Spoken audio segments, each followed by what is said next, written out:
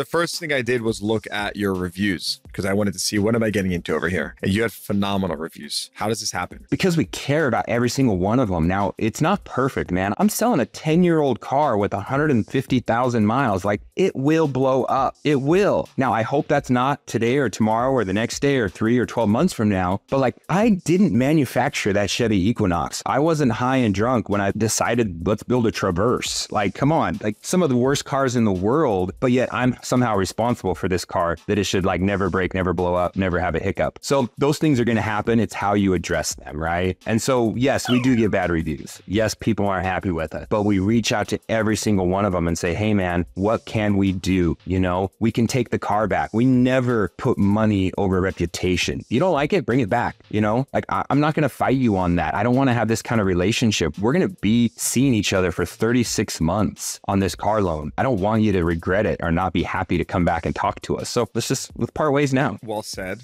And a reason why you have such good reviews. By the way, who reaches out to the customer? Is that something you do, the GM? Like, talk to me about that. I, I used to do it and I had hair back then. And now I stopped because I lost all my hair. Adrian, my number one guy, he's, and, George, my number two, they're just so good with people, man. And that's part of being in this industry. We, I talk about it so much is scaling to the point where you can start to add layers of people in between you and the customer because it's a lot of work and it's super stressful. And yesterday we have a lady in here yelling and screaming about her piece of crap car and you sold me a lemon and this, this, this, this, this. And they just want to be heard, right? They want want to be heard. Yeah. like sit them down and talk to them and let's come, let's figure it out. What happened? Well, you know, you put 30,000 miles on it in a year because you're driving DoorDash. Yeah, your Nissan Cube's not built for that. Like, I love it. The Nissan Cube sold. oh, don't, don't get me started, man. Don't get me started. It's, uh, Did, did but did you do oil changes? Be honest. Did you do oil changes? Oh, of course not, man. And she and, and we have a forever warranty. And it's like, no, it's not. It doesn't cover everything forever. And actually driving DoorDash and Uber and Lyft, that voids your finance contract. A lot of people don't know that using it for commercial purposes, that's a big no-no. So, so so, what do you do? So what do you do if you want to drive for Uber and Lyft? How do you buy that car? You know, a lot of people are getting away with it. It's a whole different situation if you disclose that to your finance company, or you need to go through one of Uber or Lyft's finance because it's different, right? You're depreciating that car three times faster than it should be.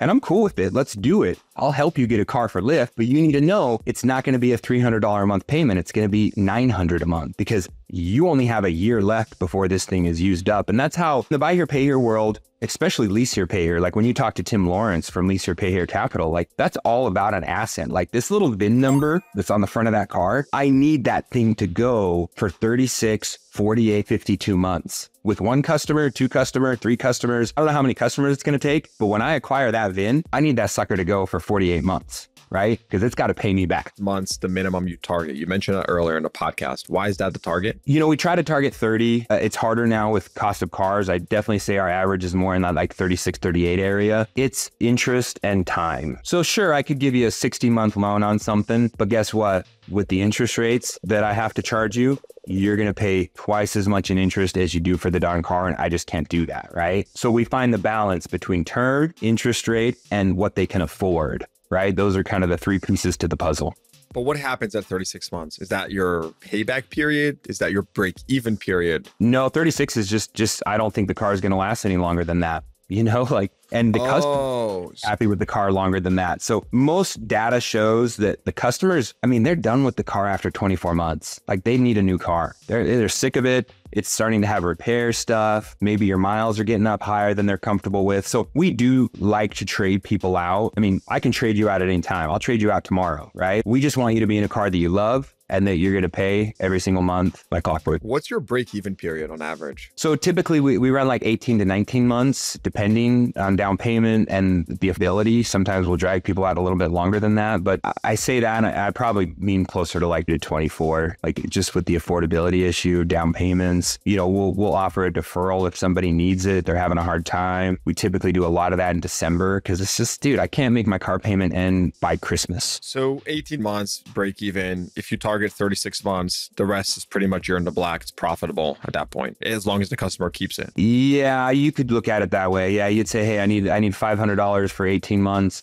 And then I'm going to, you know, hopefully at that point, I'm starting to earn some profit and a little bit of interest by that point, right? Or, you know, essentially that's when my profit and interest comes into play for sure. You mentioned you're selling these cars for average sales price around $10,000. Where are you finding these cars? I mean, where are you sourcing your vehicles nowadays? That's really difficult to find. Yeah, I buy 70% of our stuff from Manheim, OVE. I haven't stepped foot in an auction in probably five years. I don't like in lane bidding. If I go down there and I inspect 50 cars, I might have five on my buy list. And then out of those five, everybody else wants those cars too. So I'm bidding against other experts to try to get the car that it's just in lane. I don't know, man, drives me crazy. So I'm constantly on OVE. I'm constantly on backlots. Uh, we do a lot of buying from the public. So we have a whole public outreach. When you say, when you say I'm constantly on backlots, are you referring to like open lane? Yeah, whatever they call it now. Yeah, just like always on looking at what's for sale. I, I wasn't sure if you literally meant, I, I, wasn't sure if you literally meant like. Like in their back lot. We used to buy a lot directly from the new car stores here. And the problem with that is you get what they have. And that to me just doesn't make sense, man. I don't want to just have to take all five of these cars because I want the one. I don't want to have to take, so I need a big net because I only have 10 makes and models that I'll buy, right? I literally, we've narrowed it down to the 10 that we want to mess with and that we think have the best longevity. So I, I don't need to go down there and take in everything and look at 500 cars on a Friday. Like there's 10 that I might go after. And if it's the right make and model, I'll pay what I have to get to get it here because I know it's going to run the note. A bit of a different question, but how has your business changed since the pandemic and you know i looking through some of the notes we had prepared beforehand right obviously high rates cars are more expensive repairs are more expensive delinquencies are rising charge-offs right you're the lender you are the retailer.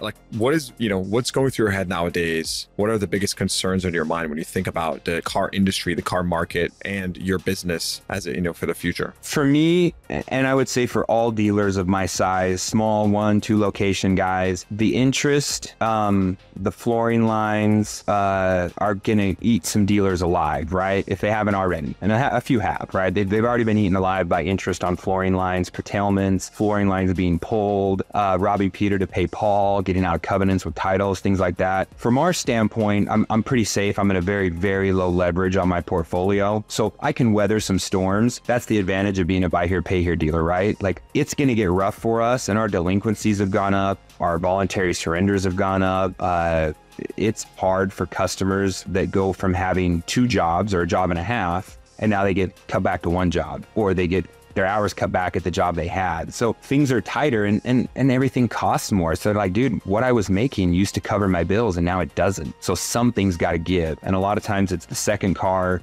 the third car, uh, maybe downsizing a payment. Um, so that's really 2005. We had a hard time, right? Like there was a lot of like resetting that people had to do, and that was painful for us as a buy here pay here. It's the ride to the bottom that hurts. It's good at the bottom. I'll be honest, man. Like being a buy here pay here in 08, 2010, it's great. I look forward to when all these banks just get out of the space, man, doing crazy loans to people that $700 payment on a brand new Mustang to someone that barely makes 1200 a month month. Like you, you, we heard the stories during COVID of just crazy car payments happening and these lenders that were just doors wide open. Like stop it. So now they're taking their lumps. They're starting to tighten up, right? I think is that pretty much the consensus that lending is getting harder and harder. Approvals are getting. Yeah, it's been it's been consistently it's consistently gotten harder over the last eighteen months. You know, at the minimum, there was definitely you know there were there were spikes where you know lenders tightened faster at different periods, but I would say consistently it's gotten harder. and actually, well, I would say on the opposite end, there's also been some periods of light loosening in between. Uh, I'll just, you know,